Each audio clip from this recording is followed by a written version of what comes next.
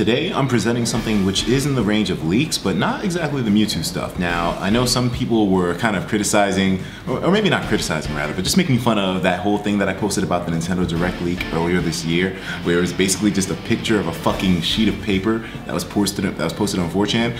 I gave it some credibility because mainly after the 2014 Smash Brothers summertime leaks, I just kind of felt like, you know, you can't just discredit it totally. Well, we have another similar case scenario today. I may just be going over my head with this one, but apparently on 4chan, which by the way, Toni Codrea shouted me out to this. This guy's been helping me out a lot actually, just follow him. But anyways, um, in terms of 4chan leaks, I know they should be taken with a grain of salt and I shouldn't even be giving them that much credit, but you just can't totally excuse those times where leaks did happen on 4chan. And you know, the Smash 2014 summer leaks are just one of many. There's been plenty of times on 4chan where something was debuted way earlier than it should have been. And that's why I don't want to totally discredit 4chan. I mean, sure, you can't really take everything that you see on there seriously, but there could very well be some merit to this one. Now, he linked me to this and it was archived. I'm not actually exactly sure when. I think it was yesterday actually. All right, so as you can see right here, we're on the 4chan archive and this was posted yesterday, March 28th, it's 29th now, and it was posted around um, 10 p.m. So apparently this is a leaked direct list. So let's take a look at exactly what it entails.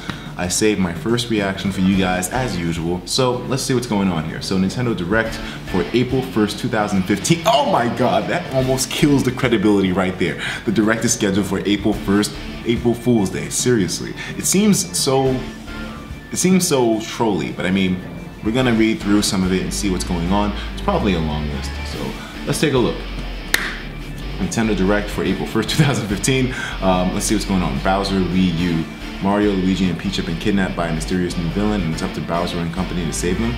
Sounds like an interesting idea. I'm not even into the Mario series too much, but if Bowser's in charge, I actually have a preference for Bowser over Mario. You know, I can see myself playing a Bowser game over that. I do like the Mario villains more, and a lot of people attribute my hate for Mario as of hating the series or whatnot. It's not about that.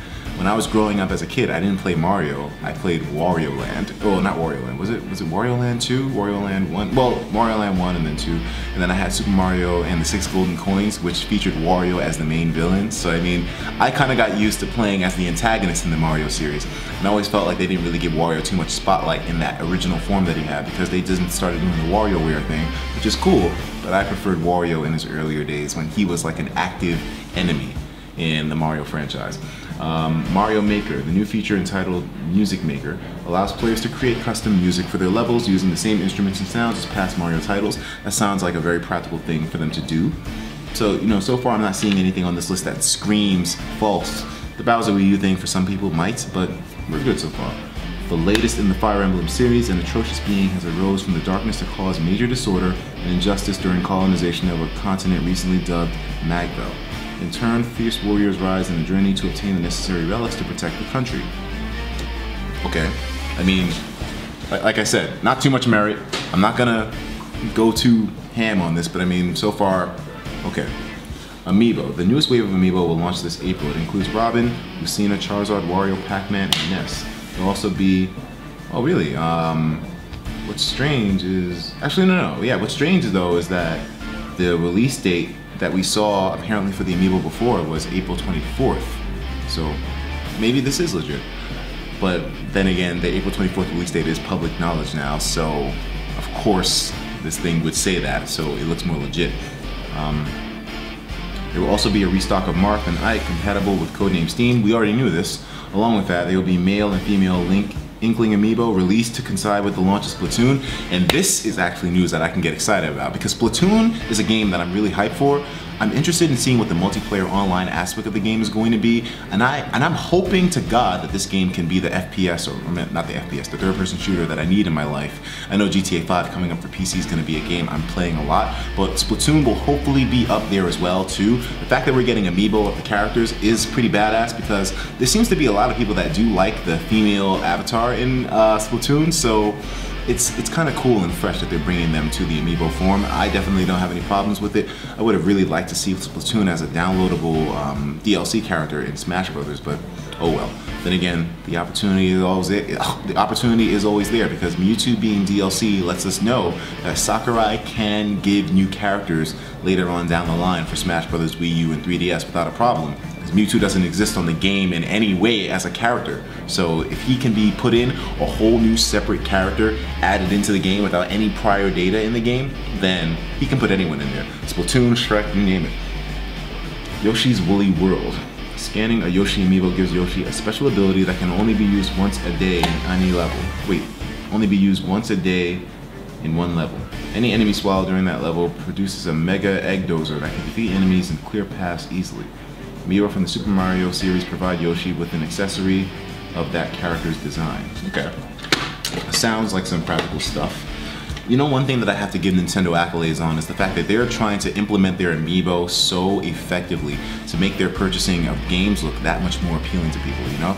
And I, I, I gotta say, it's impressive because they know for a fact that the competing figurines like, um, what is it, um, Disney I don't, I don't even know the fucking name of that. I think it's Infinity, Disney Infinity, and um, the whole thing with Spyro. What, what, what is? I, I don't know these things off the top of my head, but they know that their competition utilizes their figurines in the gaming extremely well. So props to Nintendo for trying to make their amiibo work with their games so much.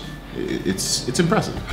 Uh, Mario Kart 8 DLC Pack 2 will be available in May and will feature Isabelle, Villager, and Dry Bowser. Really now, Dry Bowser as a character in Damn, okay. They will also come four new vehicles and two new cups, which feature eight tracks. There's also an upcoming update that adds 10 new Mii costumes compatible via Amiibo. Damn, so if this if this leaked, um, if this leaked list is correct, then yeah, Mario Kart 8 users could they're getting a whole lot. Of, it seems like they're getting a lot of content because I don't know how this. I don't. I mean, it seems like characters, new characters like Villager and whatnot, are significant and apparently you guys are getting like a ton of levels and new costumes as well too. So I mean, hey, if this direct list is true, I, I wouldn't be too mad at it. It's got a lot of stuff coming up. Pokemon Ranger, the Crimson Eon. A vile group of individuals has formed a team that intends to control the world using the power of Pokemon. As a Pokemon Ranger, it is your duty to stop them at all costs how well did the Pokemon Ranger series do? I know that it had a lot of sequels because it, it, it, I, think it did well. I think it did really well. But they stopped making them after the, the, DS, right? I don't think we have one on the 3DS yet, do we? Let me let me not eat my words here. 3DS Pokemon Ranger.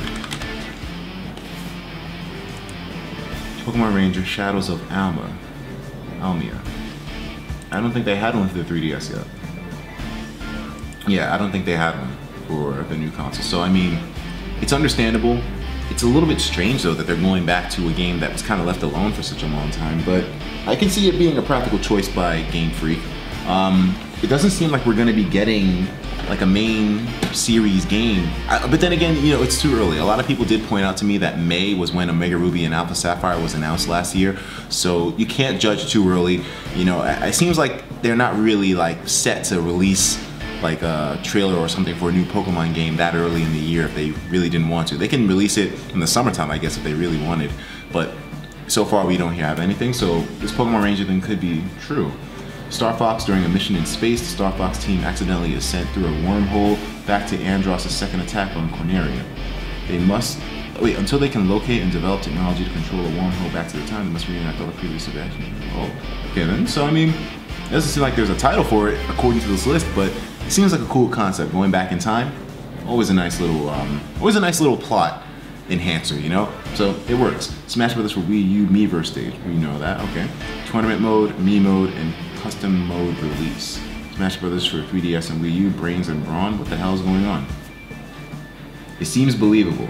Very underwhelming. I'll definitely admit that. Um, the list doesn't really seem like it gives us anything too impactful Considering that it is a Nintendo Direct though, they're probably saving all their big guns for E3 since this is oddly, isn't E3 in like the summertime around June or July? So them releasing a Nintendo Direct and giving us all that juicy information before E3 wouldn't really be a good business move. So this is probably just to whet our appetites and then once E3 happens, that's when we're gonna get the big bombs. Probably gonna get a whole lot of follow up on Splatoon and Xenoblade Chronicles X because of course, as you know, watching me say talk about this list, I was looking out for anything Xenoblade related. I don't see anything here so far, so I mean, it's all good though. Nothing here really turns me on too much except for the amiibo support with Splatoon. Um, amiibo support for Splatoon adds. Wait, I didn't even read this part, did I?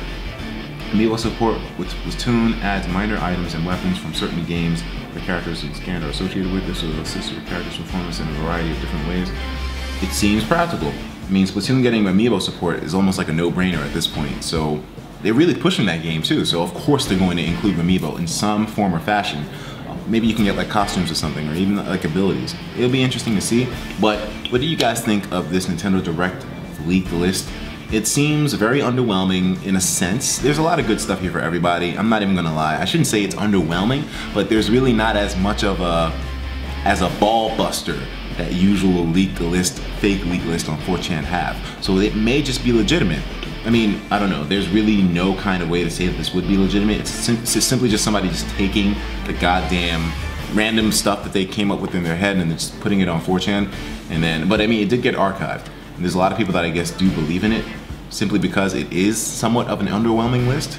Like, I, when I say underwhelming, I shouldn't, I don't mean it as if like the list has no significance. There's a lot of great stuff on here, but there doesn't seem to be one super glaring fault that's unbelievable. Like it doesn't really seem like this Nintendo Direct, according to the leaker, is going to have something game-changing or monumentally different from the standard stuff that we know Nintendo will most likely do with their upcoming titles.